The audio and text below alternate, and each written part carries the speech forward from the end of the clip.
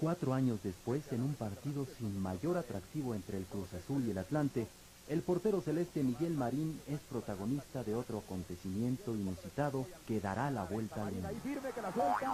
Gol. El gol más insólito.